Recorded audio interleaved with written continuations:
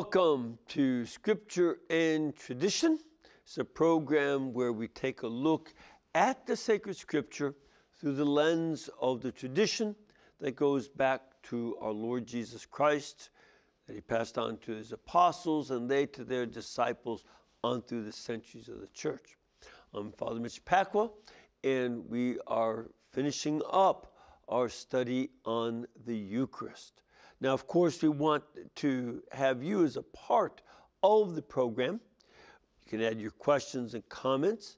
Uh, send us the questions or comments via email by writing to scripture and tradition at ewtn.com. You can also go through our social media pages like Facebook or YouTube. So today we'll finish up this whole discussion on the Eucharist. We've been going through it, the, the, the whole topic, using my book, The Eucharist, a Bible study guide for Catholics, which you can, of course, still get at ewtnrc.com. It is item T1375. And today we are starting on page 107. Now, just so you get ready for this, our next series will be How to Listen When God is Speaking, a guide for modern day Catholics. How do you discern the will of God? How do you know what the Lord is asking of you?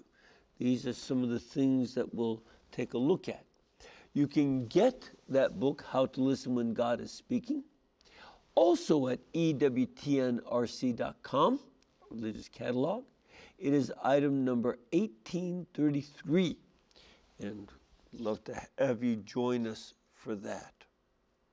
Now, if you recall, last week we were talking about the power, the infinite and eternal power of the blood of Jesus Christ.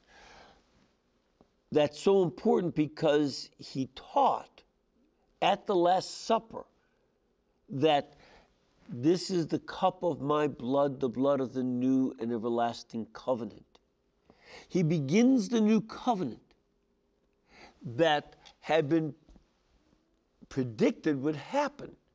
The priests, Jeremiah and Ezekiel, had prophesied that the old covenant was over. They also predicted that there would be a new covenant. And the first one to teach about that new covenant is Jesus Christ. And that unlike the high priest at the Jerusalem temple who brought the blood of bulls and goats into the Holy of Holies on earth, Jesus Christ our Lord is sacrificed and that his blood is brought into the Holy of Holies in heaven. He's in the eternal holy place, not made by human hands, but that is eternal and is the, the basis for everything else. The temple on earth was a model of what Moses had seen in heaven. Jesus Christ, the one true high priest, according to the order of Melchizedek, enters into the Holy of Holies in heaven. And that this new and eternal covenant is sealed with his blood. And we also were mentioning at the end of last week's program that his precious blood is precious because of that infinite quality. There is no sin that is more powerful than the death of Jesus on the cross. And it is also eternal in value. That there is no time in human history when the shedding of his blood no longer has an impact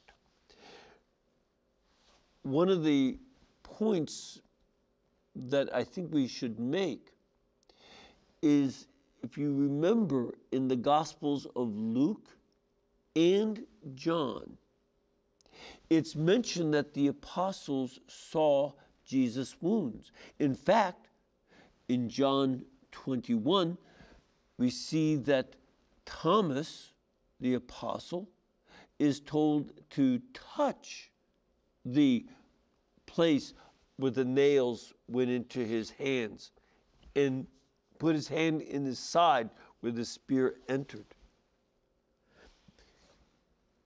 That is also significant because it means that these holy wounds from which the blood of Christ flowed are eternal. They were also resurrected with him. And this, by the way, makes a very important point for the sacrament of the anointing of the sick. Because the Bible teaches very clearly, we talked earlier uh, when we discussed Isaiah chapter 53, that by his wounds we are healed. Well, his wounds are resurrected. His wounds are raised up, and they are still there for our healing, just as his blood is forever present for our forgiveness of sins and to receive eternal life. This is very important for understanding the remission of sins. Now, let's go one step deeper and talk about how the blood of Christ has its impact not by an external sprinkling or external pouring, but by entering into the depths of the human conscience. In the Old Testament, the priest would take, the high priest would take the blood of a bull and a goat that he had mixed together in a bowl, and another priest would constantly be stirring it because otherwise it'd coagulate. And he would take that blood and sprinkle it on the Ark of the Covenant inside the Holy of Holies. Something else goes on for us. Let's take a look at Hebrews chapter 9, verse 13 and 14, where it says, For if the blood of goats and bulls, with the sprinkling of the ashes of a heifer, sanctifies those who have been defiled, so that their flesh is purified, how much more will the blood of Christ, who through the eternal Spirit offered himself without blemish to God, purify our conscience from dead works to worship the living God. Now, this needs to be better understood and unpacked. So, first of all, the blood of Jesus Christ is not something you sprinkle on the outside. We don't take the consecrated, precious blood of Jesus and just sort of sprinkle it on you. We don't do that at all. The only proper way to deal with the blood of Christ is to receive it, to drink it in. And this is because that brings out how the blood of Christ, that is the blood of the new covenant, enters to the depths of our interior life. And this is extremely important. And that the, um, uh, this is the very power of the Spirit of God at work in us. That's why he says that it's through the eternal Spirit that he offered himself without blemish and purifies your conscience. So the Holy Spirit is active and he's an offering to God the Father. This is also important because you never have one person of the Trinity acting separately from the others. In this act of self offering of God the Son to his Father for the sake of our sins. It is something that is done through the eternal Spirit. That the Father, the Son, and the Holy Spirit always act together whenever they are dealing with creation. The only time that the Father acts separately from the Son is within the Trinity, where he gives himself to the Son. And the Son acts as an individual when he gives himself to the Father. And the Holy Spirit is that self giving. That the three persons act distinctly within the life of the Trinity, but whenever acting toward us, all three persons are acting together. That is the reason why it is heretical to say, well, I'll be baptized in the name of the Creator, the Redeemer, and the Sanctifier. No, all three persons create. All three persons are in the redemption and redeem us. All three persons sanctify us. You don't have any one of them acting separately from the others. That's a heresy called modalism. And we believe in the Father, Son, and Holy Spirit. The politically correct try to change it to fit their ideology, but they end up committing the modalist heresy when they do so. That's why you cannot validly baptize in the name of the, the Creator, the Redeemer, and the Sanctifier. It's the Father, the Son, and the Holy Spirit. And you enter into the name of the Father, Son, and Holy Spirit, not the names, because the three persons act together in our baptism. So that's very important. And we see the Holy Spirit was present with the Father and the Son at the crucifixion in which Jesus' blood is shed. Take a look at Luke 23, verse 46. Then Jesus, crying with a loud voice, said, Father, into your hands I commend my spirit. Having said this, he breathed his last. Again, all three persons are present in the redeeming death of Christ. This is crucial to act. And this is very much what we see going on here. All three persons are involved. It is the same Holy Spirit who makes it possible to have the blood of Christ penetrate into our consciences. And it is the power of the Holy Spirit who makes it possible for us to have this cleansing of from our sins.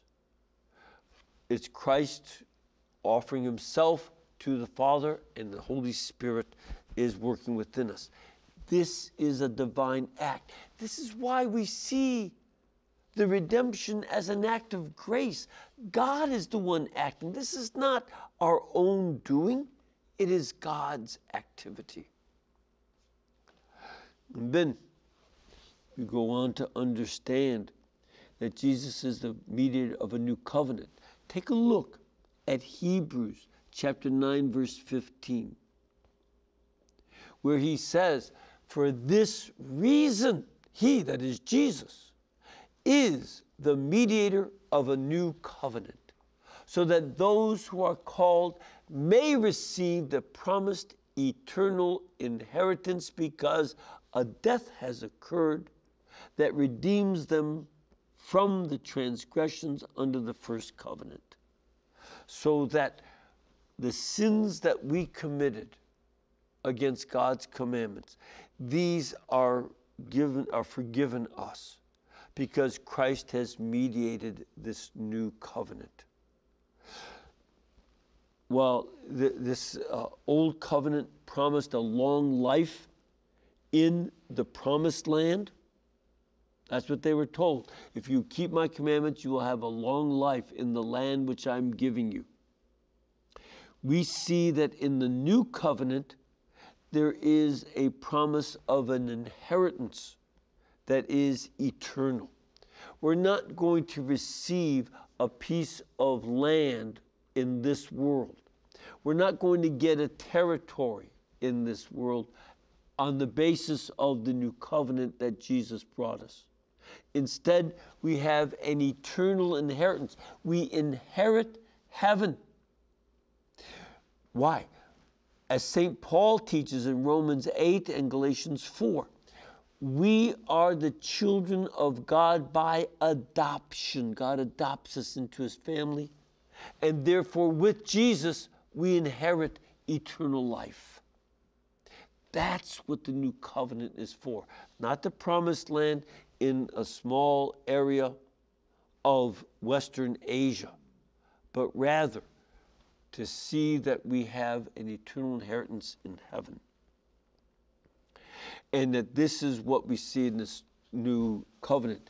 In fact, later on in Hebrews, he talks about the new and heavenly Jerusalem. Take a look at Hebrews chapter 12, beginning with verse 22, where he said that instead of going to Mount Sinai, he says, But you have come to Mount Zion and to the city of the living God, the heavenly Jerusalem, and to myriads of angels. I say innumerable angels in this trans, but myriads. A myriad is 10,000, so it's 10,000s of 10,000s of angels, namely millions and millions of angels in festal gathering and to the assembly of the firstborn who are enrolled in heaven, and to God, the judge of all, and to the spirits of the righteous made perfect. That's the saints, by the way. And to Jesus, the mediator of a new covenant, and to the sprinkled blood that speaks better than the blood of Abel. This is what our inheritance is to be that this new covenant that Jesus Christ gives us is this life in heaven, this new and heavenly Jerusalem. The letter, excuse me, the uh, book of Revelation describes this new Jerusalem as having the dwelling place of God. The eternal temple is described there. And we see that it's this beautiful place with trees that never fade, that give fruit every month instead of once a year, and that there's no more tears. God Himself will wipe away the tears. Life is hard. Life is hard. Many people are weeping as we've gotten up to 300,000 who have died of COVID or, or at least died with COVID. The doctors are revising this. A lot of people died with COVID, but not from it. Um, it's about 50,000 in that situation. But still, there's a loss of life. It's hard. And there are many, and so many of you losing businesses. This is hard. It's how you make a living, how you feed your families. And for a variety of reasons, they, they get closed down. But the Lord will wipe away all those tears and give us eternal joy. That is the inheritance that comes to us from this new covenant. And this is what we look forward to, so much so that we again reaffirm what Jesus our Lord says to us still to this day that unless you eat my bread, uh, eat, unless you eat my body and drink my blood, you cannot have eternal life. But whoever eats my body and drinks my blood will live forever and will not die forever. This is the promise of the new covenant. All right, we're going to take a little break. I want to come and deal with the question of Jesus entering into heaven once and for all and how that affects the Mass. So please stay with us.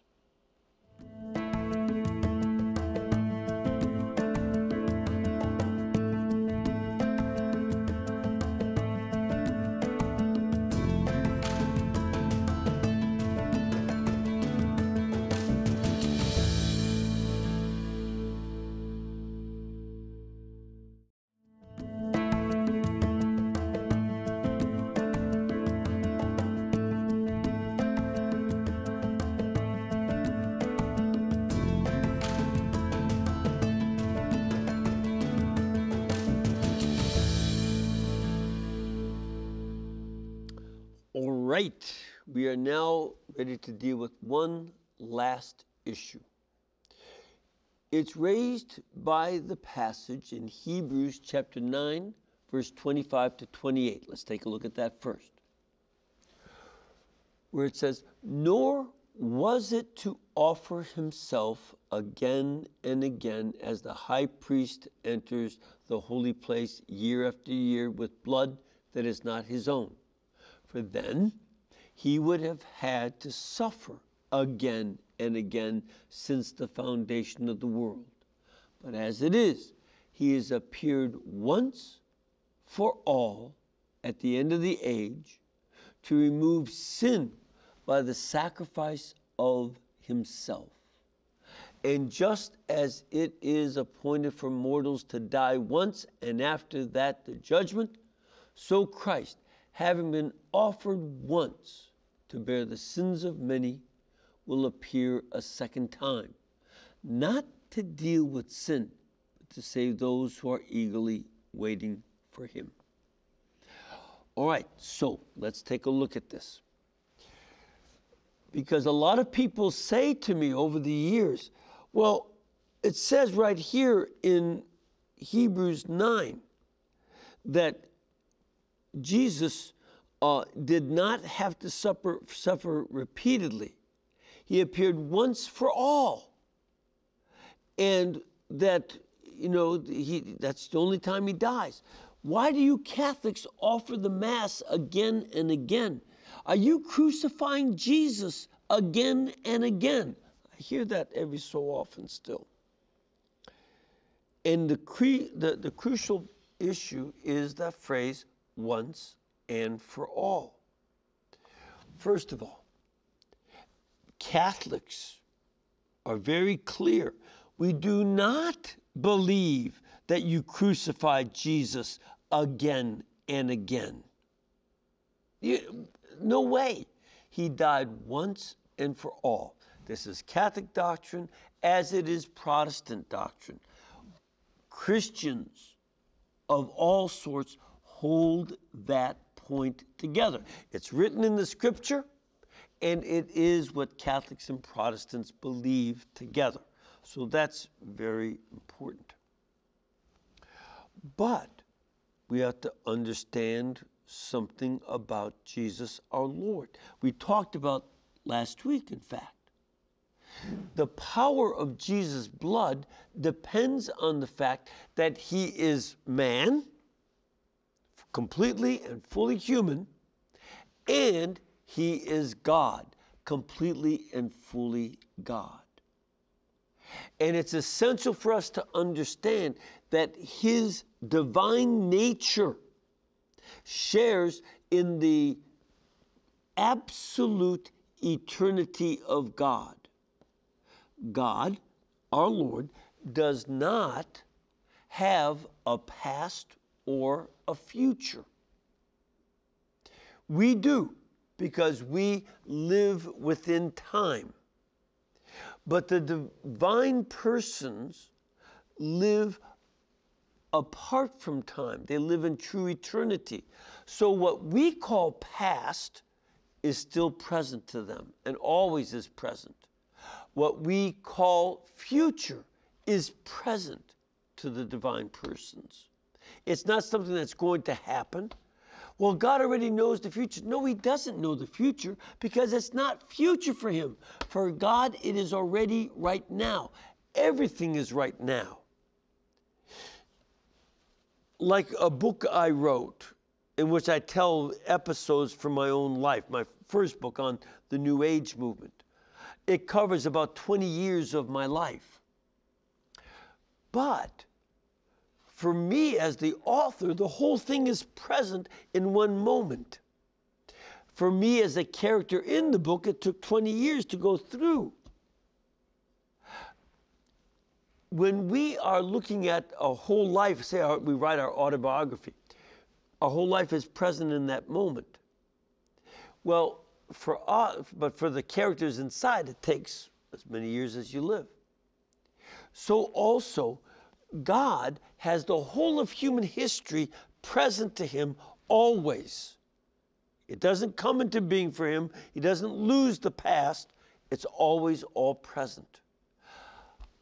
Let's bring it down here to where it affects us in understanding Christ's death and resurrection. Christ's saving death is eternally present to him. It's not something of the past. His resurrection, the moment of coming out of the tomb, is past for us, but for Christ it is present. And what is happening in the Mass when we say that this is the representation of the saving death of Jesus on the cross in an unbloody way. It means that what is eternally present to God in his divine nature, what is eternally present to him, he makes present to us in that moment of Mass. We don't crucify Jesus again and again at Mass. It's rather that at each Mass, that eternal presence of the crucifixion is made present to us. in that moment of Holy Communion, the eternal moment of the resurrection is made present to us. The whole of the paschal mystery is made present to us. Not because we do it again, but He makes it present to us. What is eternally present to Him, He makes present to us here on earth. In that sense, the Holy of Holies in heaven touches us on earth. The reality of Jesus' death comes to us. And, you know, think about the way Catholics and Protestants share elements of that faith. Almost every Protestant I know believes that they have been saved by the blood of the Lamb. Did they kill Jesus again? Of course not. And they would never say that. They don't think it because they didn't do that. It's rather that the same doctrine, the death of Jesus, is present to everybody who comes to him in faith. And in their act of faith by which their hearts are cleansed by the blood of Christ, that becomes present to their moment for them. This is something that is uh, part of their faith when they say they've been washed by the blood of the Lamb without having to kill him again. It's rather that the shedding of his blood on the cross that is eternally present becomes present in their act of faith. We believe that, but also that it becomes present in the moment of the Holy Eucharist. It also becomes present when we confess our sins. He makes it present to us in the confessional. He makes it present by his wounds being scourged and, and uh, open for us to heal us, that, that the power of the wounds are made present to us in the sacrament of the anointing of the sick. In your marriage, you enter into the dying with Jesus so you can rise with him. That makes present to us. At ordination, the priesthood of Jesus, one on the cross, becomes present to me at the moment that the bishop lays hands on me and ordains me. Every sacrament becomes present. Baptism into the death and resurrection of Jesus is because the power of his death is made present at the moment of entering into the baptismal font. This is key. And it is always present to him, but by his grace in the sacraments, he makes it present to us. And we receive that gift so that the altars of our churches have the one sacrifice of the cross perpetually present to us. He doesn't have to leave the Holy of Holies in heaven, but He makes it present on our altar, on our holy places. And that's why we reverence the altar, we bow toward it to show respect that this is where heaven touches us. And we don't treat it just as another table or something. It is where God touches us. And that He makes this a way so that uh, it makes His death and resurrection present to us so that we can take and eat. We can take and drink and enter into this mystery. And he cleanses our consciences. He enters into the deepest part of our human existence. This conscience is what sets us apart from the animals. They don't have a conscience. They don't feel guilty about cheating on their goose wife or goose husband. They have no such thing. They are, they just are animals. We have a conscience, and that's where God meets us. And He cleanses our conscience by the shedding of His blood, and we receive this in the Eucharist. I want us to realize the power of this so that all of us do everything we can not to neglect it. I know at this time of COVID, a lot of places they don't let us come to Mass. It's got to change, and some of the courts are getting on their case. We need to make sure that as soon as possible, we reassemble in the church and that we worship God and we receive Him and receive the forgiveness of sins and the cleansing of our consciences. And secondly, we do everything we can to invite others to receive Christ, to let them know the fullness of this reality and this truth and this goodness, so that they too can share in the reality. It's not about joining the Catholic club or something, it's about eternal life and redemption and being in heaven, which we inherit because Christ brings us into this new covenant of his blood. And that we never, ever want to neglect that. And as soon as the, this pandemic is done, as soon as we can, don't wait. I know some people are still scared to cast. They want to say, oh, well, we've got to wait even longer. As soon as we can, get back to church and receive Jesus body and blood, soul and divinity. Whether you receive only the precious body, only the precious blood for some people, you still receive the whole Jesus Christ. And by receiving the whole Jesus Christ, he makes us truly whole in the depths of our conscience. This is the great gift from Christ, the bread of life. All right, we've completed that Bible study in that book. Let's take a few of your questions now. We have Mary Lou online. Mary Lou, where are you calling from? Pennsylvania, Father. Wonderful, wonderful. And what is your question? Well, Father, it was a tail end what I heard, and I never did this before call in, so I'm a little nervous. Oh, um, don't worry. You said something about the covenant. You were talking about the covenant, and it was like a twofold thing. And you said something about if if um, let me see, if you're if you get the Eucharist, you know, the body and blood of our Lord Jesus Christ, you you have eternal life. Mm-hmm. And then I thought you said something about if um, if you're getting the Eucharist, you'll receive um, um, God in your in your heart Christmas Day. Mm-hmm. Mm-hmm. Well, I don't get the Eucharist because I'm in a wheelchair 7 uh-huh. years. Oh, and the priest only came once a month for me. So what does that mean for me? First of all, you uh, bless you, you know, for your, your, steadfast faith.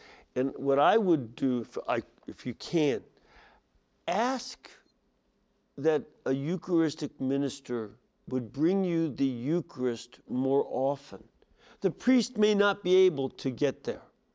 That, that, that's possible but an extraordinary minister of the Eucharist can bring you Holy Communion. And for you to, uh, at the very bare minimum, if you, you're watching TV now, so you can join us at Mass and make an act of spiritual communion until you get a chance to receive the Blessed Sacrament. And you know, last week I had a phone call. Somebody asked, How do we keep holy the Sabbath? Well, let me make a suggestion for those who are wondering what can I do on holy days like Christmas? What can I do on Sundays? Um, and um, you know, uh, and you know, I, I want to keep the, the, the Sunday holy. Well, one of the things you can do is become an extraordinary minister of the Holy Communion and bring our Lord to people like this who can't get out. She's in a wheelchair. She cannot get out, and uh, even before the COVID situation. And you want to talk about making Sunday holy and the holy days holy? Be generous with time and bring our Lord to those who can't receive in person inside the church, but can receive at home. And this is something I'm going to ask our folks to do, to volunteer, because I want you to receive the Lord. But you can, at the very minimum, receive Him in spiritual communion. And this is something that um, you know, I uh, you know, pray that somebody will, near you, will respond to this invitation and, and help you with.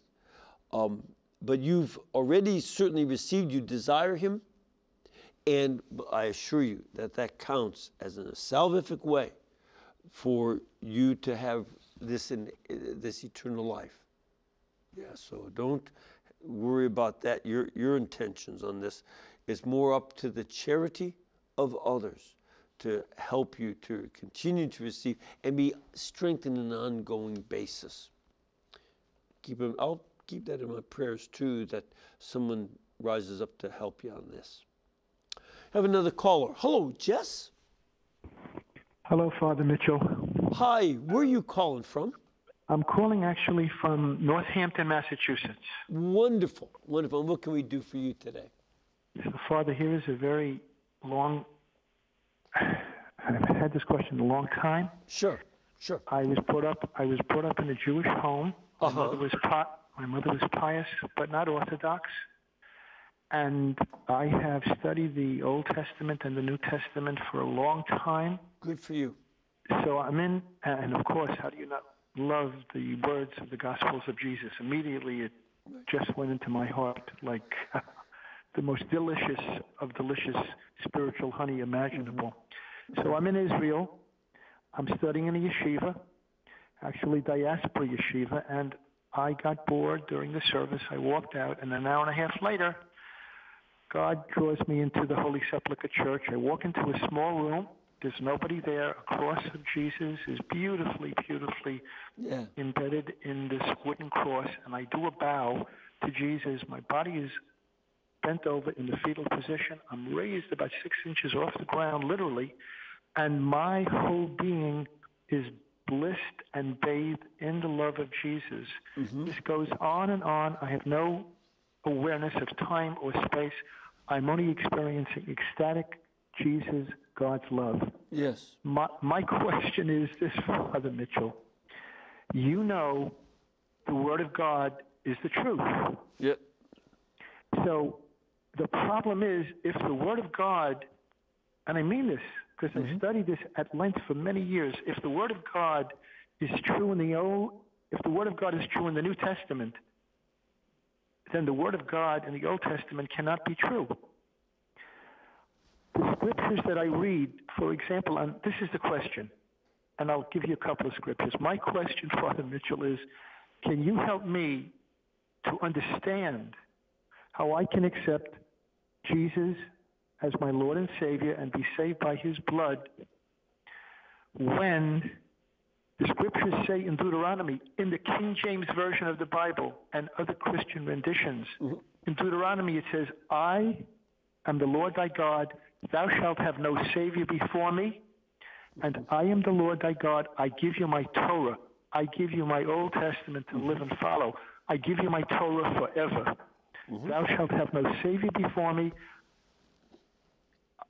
I am the Lord thy God. I give you my Torah forever. Sure. When I read these two things as the word of the Lord, and it says within all of the scriptures also, there is no human sacrifice allowed. No man may be worshipped. There was no vicarious atonement. The whole Old Testament is replete with mm-hmm. the direct relationship is between you and God. You ask forgiveness. You make restitution. You do your best not to repeat those sins. Right. And I just wonder how, when it says, I give you my Torah forever, it doesn't say until the King Messiah comes and you will then have a new covenant. It doesn't say you will worship the King Messiah as you worship God. I have these questions and many like Sure.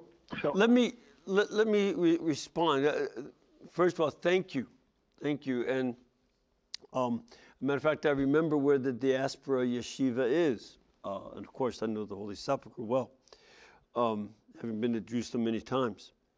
A couple things. First of all, go back and look at Matthew chapter 5, verse 14 to 16 where our Lord concurs with you. He said, you know, that you don't get rid of the Torah. He said, anyone who teaches to, to do so is wrong. That our Lord takes Torah, the, the, the commandments of God, and he brings them to a new depth. Think of how in the Sermon on the Mount, he says, You've heard that it was written, Thou shalt not kill. I say, don't even have revenge, don't even have anger. And we see that again and again as a process there. Our Lord doesn't destroy the Torah, but He takes it to new depth and wants us to understand not just a vague spirit of it, but the depth of it. Secondly, our Lord Himself says, in quoting Deuteronomy chapter 6, verse 4, the Shema, that, you know, uh, you know, that you, the Lord your God, the Lord is one. Our Lord cites that. And when we pray at Mass, in the Creed, our first act of faith is we believe in one God. There is no other God, there's no other Savior. We don't believe that Jesus is another God or another Savior. We only accept that He is the, the, the second person of the one God. That when He Himself talks about how He and the Father are one, we distinguish between that which is the one God, which is what the Father, Son, and Spirit are. They're one God. And the who. Father, Son, and Spirit is who the one God is. We believe that God is eternal love. But that love is possible because the Father loves the Son from all eternity. The Son is the Son and loves his Father from all eternity. And the Holy Spirit is the love, the infinite love, the infinitely personal love, who's an infinite person between them. Now, this is not in any way uh, an undoing of the teachings of Torah. Because we, we, in fact, in the same creed, we say we believe in the Holy Spirit who has spoken to us through the prophets. That the prophets of the Old Testament prepare the way and they point towards the Messiah. And in various ways, they did say, and it's the prophets who did say, that the old covenant was broken. Again, that's Jeremiah 31, Ezekiel 34, Ezekiel 37. You know, these passages speak of it being broken. Christ then says, in the light of the, the, the prophets, uh, Jeremiah and Ezekiel saying the covenant was broken, and promising, both of them promising a new covenant, Christ is the one who says that this is it. But he doesn't do it just as, it, it'd be a nice idea to have a new covenant. No. He does so with divine authority. That's where you found that joy and that peace. I would urge you to meditate more deeply on Jeremiah 31 and the other passages I mentioned from Ezekiel. You can find them in that in that book and in the programs I've done the last few weeks. Take a look and take time and listen to what the Lord God says to you about the covenant being broken and the new covenant being started. Put those two together and see if that helps. I hope it will. And you're in my prayer. You're very much in my prayer. And please keep me in yours. God bless you. Very much, Jesse. God bless you. Let's now go to another caller, Patricia. Patricia, where are you calling from? Hello? Are you asking for Patricia? I am. Is there a Father, I- Patricia I can in the house? hear you. I, I think it might be my phone. Uh, recently, I heard you and on call to communion. What do you mean by the Old Testament being allegoric? Okay. Well, do you know what's an allegory? Do you know? No. Okay, all right. This is something very important. You know that th- there are allegories in the Old Testament and in the New Testament where some there, there's one point, one event that also it's a real event, but it speaks to something coming in the future. So, for instance, in the book of Exodus, we see that Moses is told to celebrate the Passover and that a lamb is to be sacrificed, and the blood of that lamb is to be put on the doorposts and on the lintel of the door. And there, so you see that that is an event that happened. But then it also is an allegory that points forward because later on we see how Jesus is identified by John the Baptist as the Lamb of God who takes away the sins of the world. And that his blood is put on the cross piece, the- on the cross, instead of on the doorpost and the lintels, it's something that is put on the cross. And that just as the blood of the lamb on the doorpost and on the lintel saved the people of Israel from the angel of death, so also does Christ's blood on the cross save us from eternal death. So it's an allegory that points forward, or it's a typology that points forward toward what Christ did. It's a real event that happened, but it also points forward towards Christ as a symbol. And we help understand what Christ is doing, and what Christ did helps us understand what was going on in the Old Testament. They go together. Does that help you, Patricia? Yes, yes. That makes sense? Okay. Uh, okay. Okay. Can, can I? Uh, I received in the mail. I don't. Have you ever been to uh, Doylestown, Pennsylvania? No, I have not. The the Częstochowa Shrine. Well, Right. I'll, I'll just read. I've been out of school 62 years. Niech Boże Dziecię Jezus Chrystus błogosławi wam i obdarza zdrowiem. Okay, Father Mitch. All right, it's, it's, it's, um, uh, nie- niech będzie po, uh, pochwalony Jezus Chrystus. So this is is this is telling uh, telling. So, telling yeah, it's, it's saying, may Jesus Christ be Christmas. praised. May Jesus, the niech is may, you know, it's, it's, uh, so may Jesus Christ be praised and may you be blessed.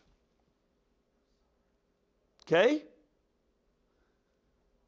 All right, I think we got it there. All right, now we have another caller. Hello, Rich. Hi, Father Where are you calling from? Butler, Pennsylvania. Wonderful. And what are you asking about? Okay, I just want to know after the tomb was opened and Jesus was walking around, how long of a period of time that was, and how many people did he interact with that either knew him or didn't know him or Sure. recognize him? Sure. Um, according to 1 Corinthians chapter 15, the first six verses, it was about, uh, uh, there, there was uh, a number of appearances, and he says to James, to Peter, to the, the three women, then to all the apostles in the upper room, and then to disciples, you know, at the Sea of Galilee. And then at one point, he met 500 people saw him. So you're talking about something like 550 people at least that are listed in the various uh, apparitions of Christ res- uh, after he rose from the dead. And St. Paul adds, a lot of these people are still alive today. Now, he was writing that in 54 AD. Does that help? I guess he's gone. All right, yeah, so it's about 550 people that we know of saw him. All right, and then we have uh, an email from James in Statham, Georgia.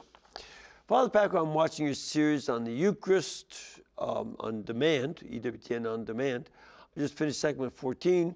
You expound on John 6 very well. However, I'm still having trouble understanding. At the Last Supper, when Jesus gave the bread and wine, which were his body and his blood, to the disciples, he wasn't then missing any flesh or any blood.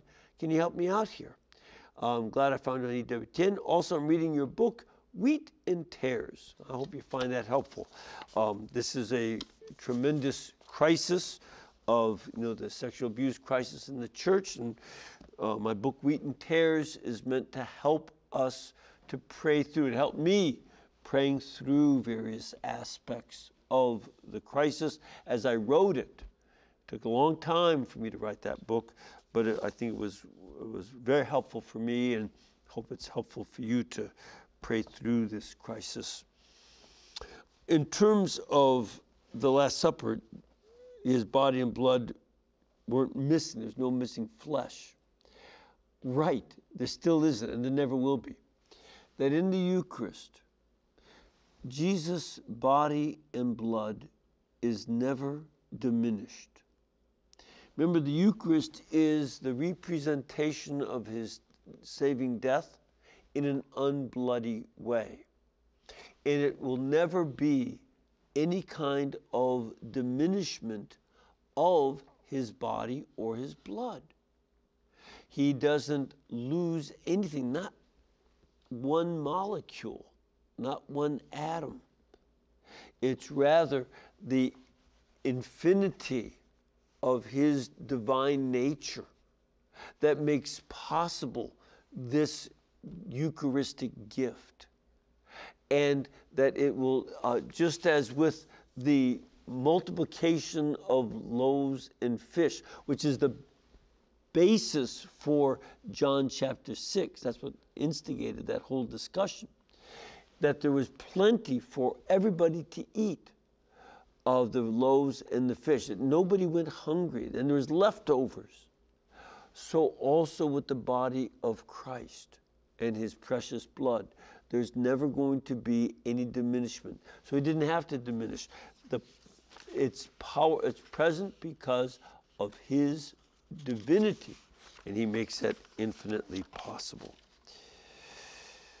And then, real quickly, uh, from a lady named Angelica, Father Pacwa, I work in a fast paced trauma center as a nurse. I want to know what prayer could be saying in my head for people as we are working to save them. I usually pray the Hail Mary and Our Father, but I want to know if I should pray something specific for mercy on their soul. You know, Angelica, praying the Our Father and Hail Mary is great in those kind of situations. when I had my heart attack, that's all I could manage.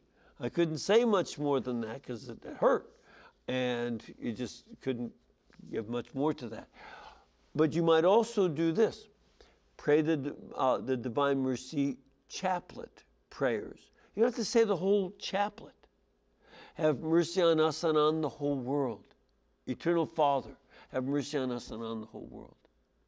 Um, take that petition and make that yours at that moment and pray for them because those people who are in trauma, that you're talking about need God's mercy.